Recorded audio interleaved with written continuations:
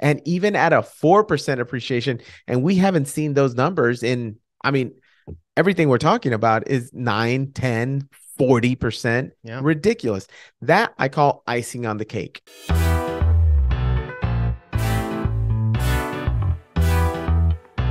Wall Street is running away from the housing market. But why? Hmm. So I know the last couple of years we've been seeing a lot of in the news about these institutional buyers, these I Mhm. buyers buying up all this property, single family homes across the nation, and everyone and leading everyone to believe we're going to become a renter nation. Right, right, Right. right, I saw a lot of art. Yeah, I, I, I seen some material on that. So this article is saying that that machine is coming is slowing down and almost coming to a screeching Oh, halt. I see what you're saying. I see what.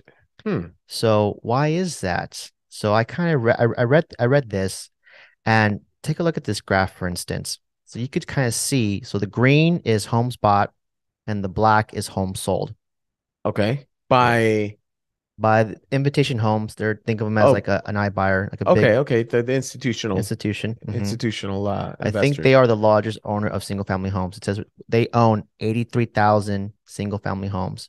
Okay. So it's pretty much saying they're no longer in a buying freeze. They're in on a buying spree, excuse me. And that because of the interest rates trending the way they are and home prices from what they're forecasting trending downward, Uh-huh. it's just it's not the numbers aren't making sense for it to be a sound investment anymore. I see. So So they are no longer purchasing as many homes as they were.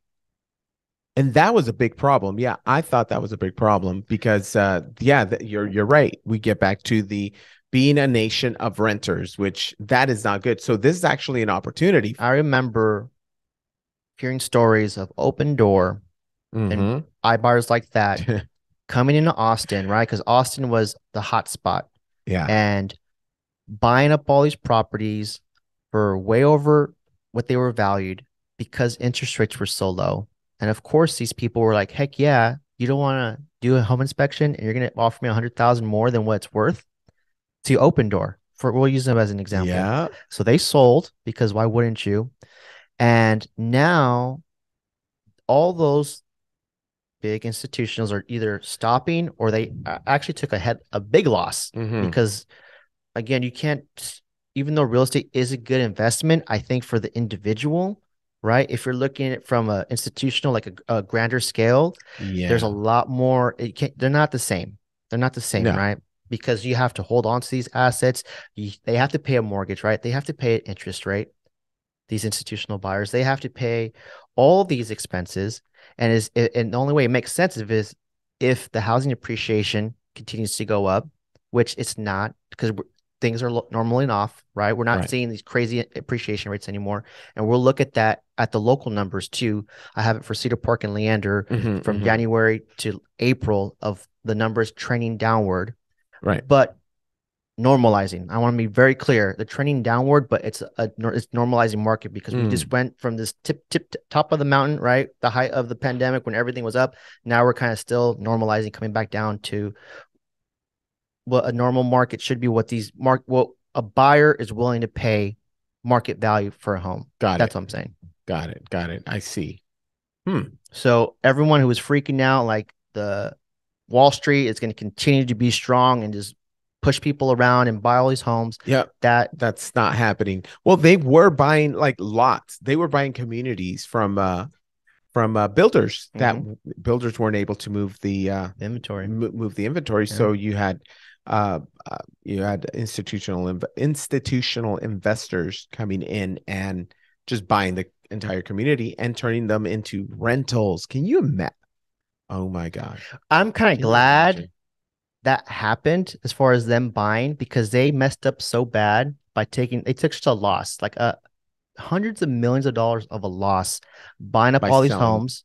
by Right. selling them that way. and yeah. and and there's still it's kind of funny because there's still a home if i'm not mistaken as i drive up here that has the Opendoor sign that's Yeah. been there for like the last six months and every time i look I, I drive past i'm like i know that home's like what they have it listed at is way beyond they're trying to recoup their losses but every time i'm seeing like their price reduction price reduction price reduction And I'm like, they're losing money.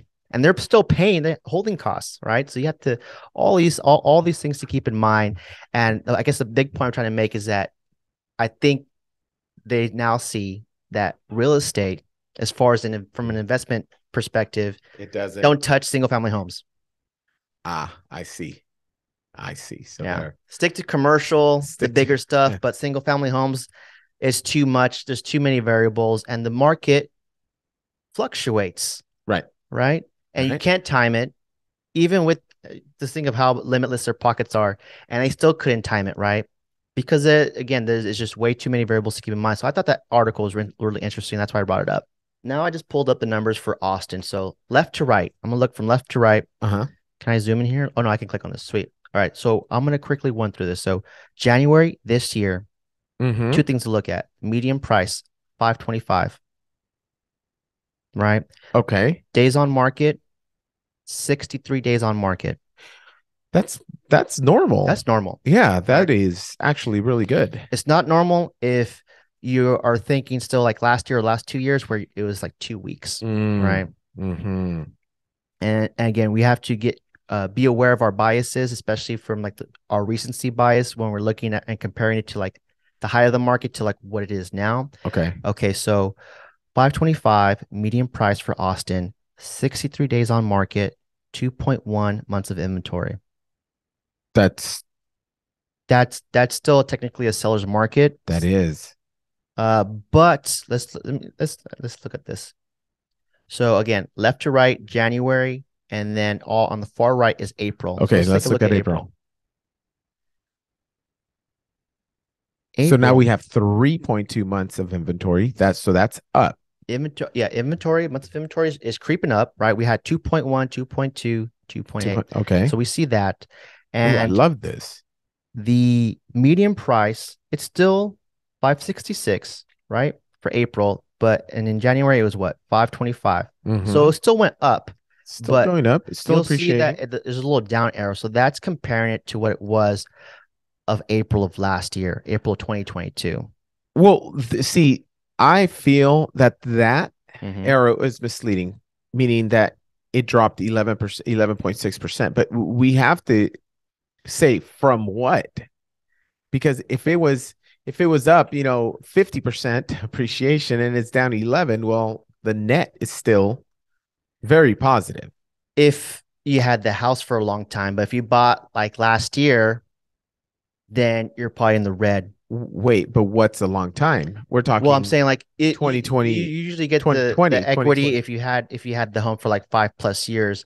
But let me let me show you that because I Okay. had that number right here, right? So let's remember that 566, Mhm.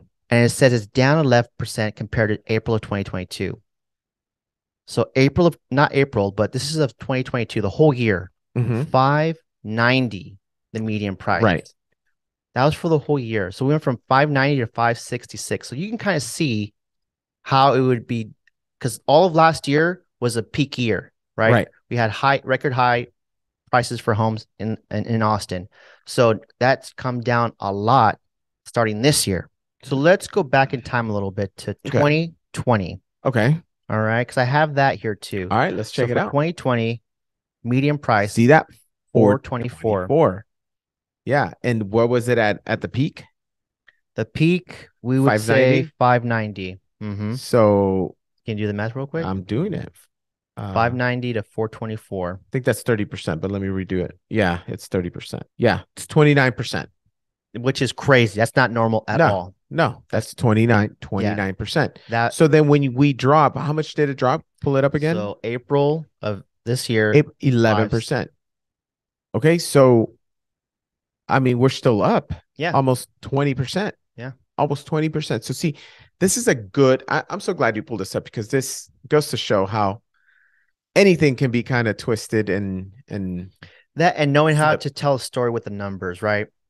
Mhm. Because it's kind of hard to see, like, hey, you see an arrow pointing down, but we look from January to last month, and then the numbers are kind of going up. So it's like, okay, there's a lot of if you don't see this every day, how do you know how to like read it and, and like Yeah. actually comprehend this? So Yep. yeah, we kind of did that right there. I like that. All right. That was for Austin, folks.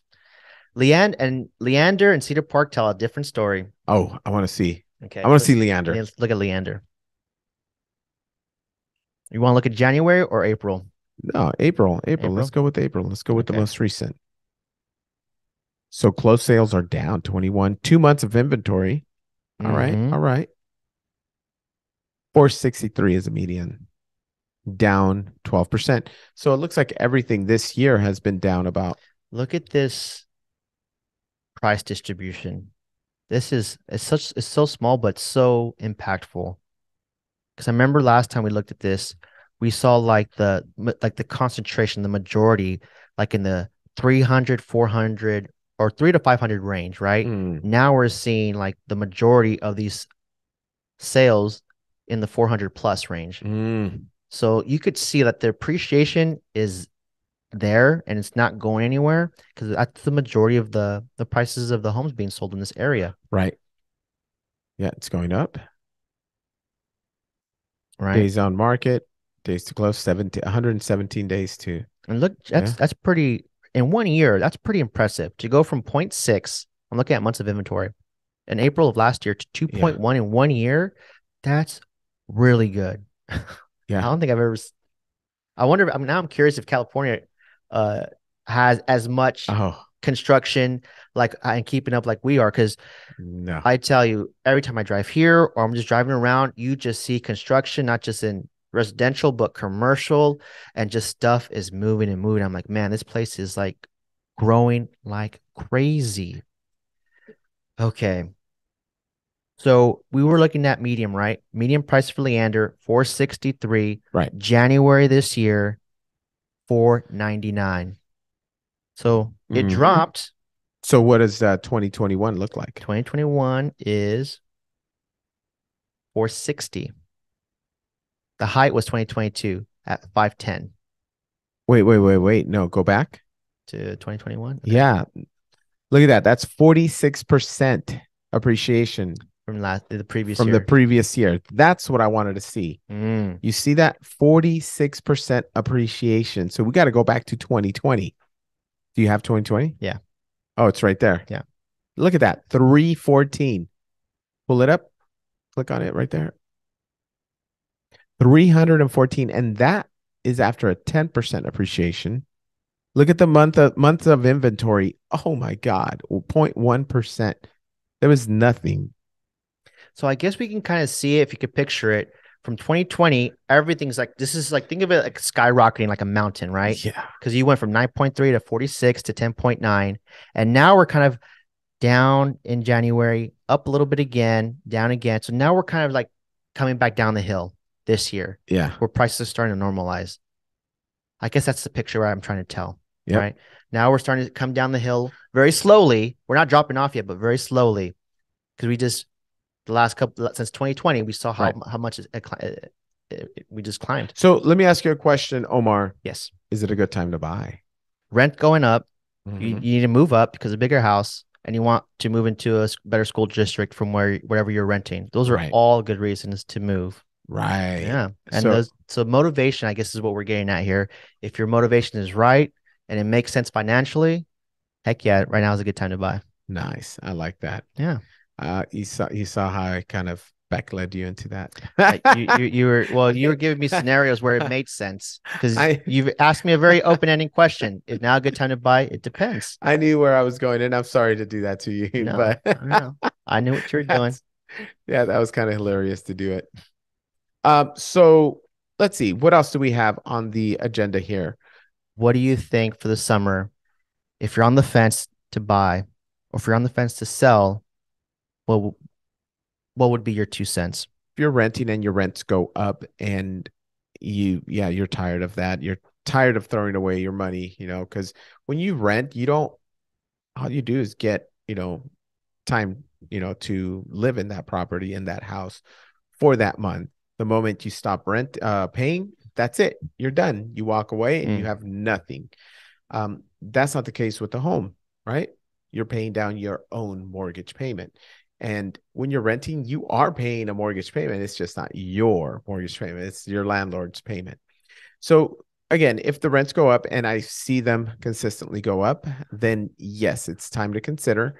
Um, again, I was talking about schools, better schools, um, commute. Um, I mean, there's a number of reasons, and I think the best way to figure out if you um, if it's the right time to buy for you is to do a full analysis. Look at uh, what your income is look at what your expenses your fixed expenses are. Um, see if uh, maybe if you have to pay two three hundred dollars more per month if it's worth it if you got a closer commute or i mean there's a a dozen of uh, a number of uh, reasons dozens of reasons where you know you can you know see and and and analyze uh and choose if it's the right time to buy or not. I hear you. Okay. Was that anything else? No, that's okay. all I got. Do you want me to continue? No, I was gonna go. Mm-hmm. All right. So I'm thinking if interest rates remain the same, which I think from what I've seen, this was like the last interest rate kind of hike that we're gonna see for the rest of the year that we're going to probably still see prices slowly still decline as the summer goes through. Mm. Right.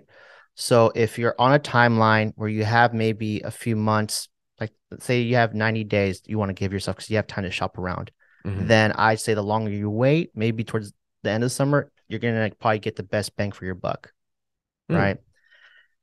If you have 30 days or less, right? Because of what you said, you want your kids because during the summertime is the summer break, right? So you mm-hmm. want this your kid to start school in the fall for um for the new school district, and summer is the only time you want to do it. And looking at how long days are on the market, sixty plus days, and knowing that we're still seeing multiple offer situations in Austin, depending on the area and like how it's priced, then yeah, it, you would it would behoove you to buy sooner rather than later if that's your timeline where it's a lot more shorter Right. Okay. So let me get this straight. Go ahead.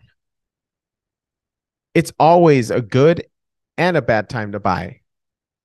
It depends. it's always a good it and depends. bad. So again, yeah, it all depends. Mm-hmm. It all depends. And you pulled up all that appreciation, 4%, 20%, 30%. We've been talking about the last 3 years. Mm-hmm. You know, I've looked at the 63. If we take a 63 year historical view, mm. Did you know in Travis County it's 4.4% appreciation? 4.4. 4.4, which is amazing. I think that is outstanding because that same house that you bought at 300,000 in uh let's see in um in 5 years it's going to be what uh 20% more. So what is that? 3 3 360. That's if you take a 63 year appreciation. Um or 63 year uh, time frame, historical mm-hmm. time frame. Now, why do I go with the 63 year? Because there's a bunch of recessions. There's at least five recessions within that 63 year period. Mm. So there's ups and downs along the way. And that's how you can forecast a little more conservatively um, what the future value of that home is. And you got to realize when you buy a home, you buy that $300,000 home uh, and you put zero down. Let's just just to keep the math simple, mm-hmm. you put 300 or th- um, zero down and in five years it's going to be worth 360,000 and during that time instead of throwing away your money to rent you are actually paying down that principal. So let's just say by the end of that 5 years it's uh principal balance is at 240 so now you got $60,000 that you've been kind of saving and and you know it, it it's kind of a forced sales uh, or forced savings account right mm. 60,000 and then you got appreciation of 60,000 that's $120,000 and if we factor in the interest rate re- uh, deduction the benefit of uh, owning a home is that you can deduct your mortgage interest mm. on the your federal income taxes and that reduces your tax liability so you combine all those and you're looking now at a net gain of what is that uh 60 60 12 maybe about 150,000 in 5 years. If you say decide to sell this house, your your net gain is going to be about 150,000. If you don't buy anything and you continue to rent, how much is that number? What if you're paying $2,000 a month in uh That's what, 24,000 a year? 2024? Yeah. Damn, 24 Yeah. times five years. That's 125,000 that you will pay. That's in the red. That's negative as opposed to the other way around if you Mm. own a home. And even at a 4% appreciation, and we haven't seen those numbers in, I mean, everything we're talking about is 9, 10, 40%. Yeah. Ridiculous. That I call icing on the cake. Okay. So if it does appreciate 20%, yay, good, but don't count on it. Just focus on the 4% Mm. and you're still going to win. Just with Mhm. that math I did right there. You said something really fast. I just really want to just repeat it. You talked about the, I guess the appreciation, right? Right. Of 4% in five years. And you also talked about the money that you're paying in the mortgage, Yeah. Right? Repeat those two numbers and explain that real quick. Okay. So um, let's just say that your payment is $2,000 a month. Okay. Okay. Out of that $2,000, $500, and I'm just using the just Simple random math. numbers. Simple math. Yeah. Just, yeah. Out of the $2,000 uh, that you're paying, 500 of it is going towards your principal Principal. pay down. So you're paying down your debt. You're not just throwing away your money, you know, like when you rent, you're paying down your own debt. Okay. Okay. That's what I like to call like a forced savings account because you're kind of forced to pay that down, Okay. but it's not being thrown away.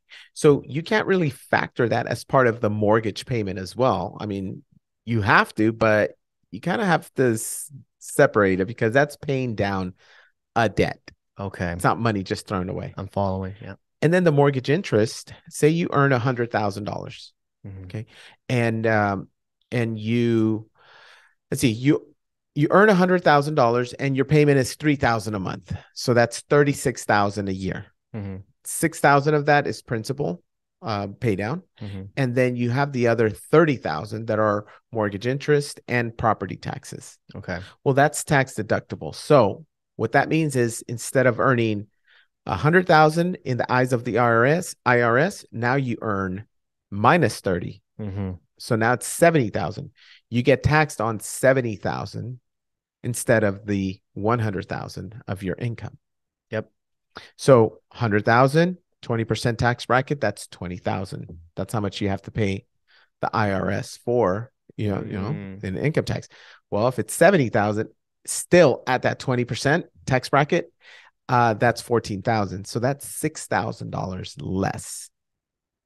So you have to take that into account as well. And I didn't really touch on that in this uh, example I was giving earlier, but you have to consider. I didn't even consider that. That just adds to it. That's more icing on the cake. Mm. All I I, did is a little bit of appreciation, very, very conservative uh, appreciation, and the principal pay down. Just those two alone already um, make it such a huge, huge So everybody benefit. who's renting, their aim should be to, to buy. get to get to home ownership as quickly as possible to take advantage of the tax yes, tax savings and the I guess the equity that you're Yes. building and the appreciation that we're getting here in Austin. So it makes sense. That's what I, that should be the end goal. Yes, absolutely. So, so I've I've gotten some of these um, uh, um, like cases where, oh, what if it doesn't appreciate? And you know, I I go, you know what? Let's just do zero appreciation. Stays the same. Three hundred thousand. That's it. Done. So even if in five years that property is is still worth three hundred thousand, think Mhm. about this: no appreciation gain, but you did pay fifty thousand dollars into the principal balance, so that money's not lost. And then what about the mortgage interest uh, deduction with the IRS? The the, savings from that, the savings from that. Mhm, Let's factor those in. Those are tangible. Those are always going to be there. mhm. Appreciation, maybe not. You're right. Okay, let's go zero. But the other are going to be there. Oh, I just So- thought of it this way. So it's like you just we said three buckets, right? The Mm. tax savings, the appreciation, and then the principal, right? Yes. So Oh, as long as you're it. as long as you're getting two of the three, great. One of the three, great. If you're getting all three, fantastic. But Yeah. it's all it's all upside. Right. It's all an upside.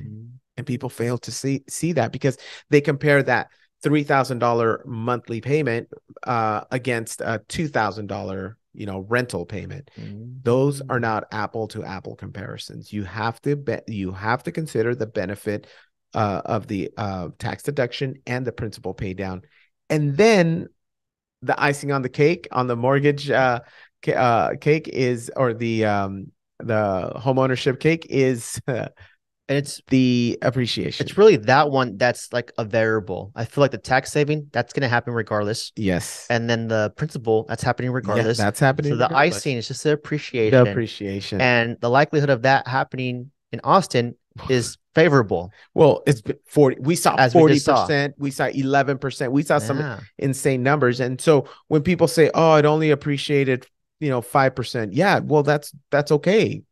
Even if That's it great. appreciates 0, you're still good. because we're talking big numbers here. Yes. You know, five percent of a couple hundred thousand dollars, that's big money. yeah, that's that's, big money. still that's still good. That's year over year. Yeah. Now, again, let me recap it. 63 year historical view. Yeah. 4%, 4.4% appreciation. So, with all the recessions, with all the ups and downs, you're still going to climb slowly. Yeah, that's that's pretty well. That is, that's great. That's Yeah. great. That's that's like one of like when they say, I guess the secrets of home ownership or like the, you know, why you should get into it. I mean, Right. that's four percent over multiple, like you said, multiple recessions. Yeah. and you're we're still in the green.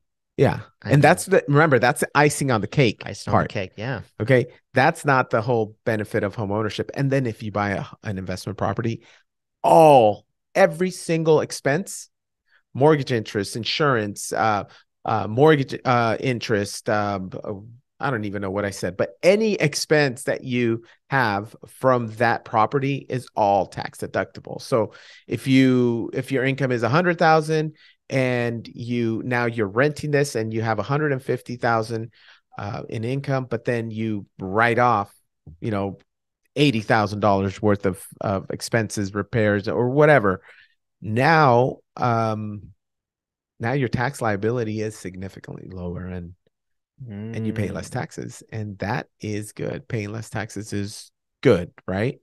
I mean, that's what we want, Yeah, yeah. as long as it's done legally, Right, and- and- course. the system that the system is built to incentivize people to do that, Right. right? To Well- take to to give advantages to help with your earned income to take to take deduct from your earned income. Yeah, exactly. I mean, all these self-made billionaires, I'm saying billionaires, started in real estate because that's the easiest way to accumulate wealth. And do you know why? Because of the tax. Nope, because everybody needs a home to live in, All right. right? I mean, Yeah. Yeah. It's one of the basic needs of life. Yeah. yeah. Yeah. And you know what else they're not making? Oh yeah. The land land is Land. finite. Land is Land is finite. That's finite. right. Yeah. So get in. Ooh, I like how we ended that.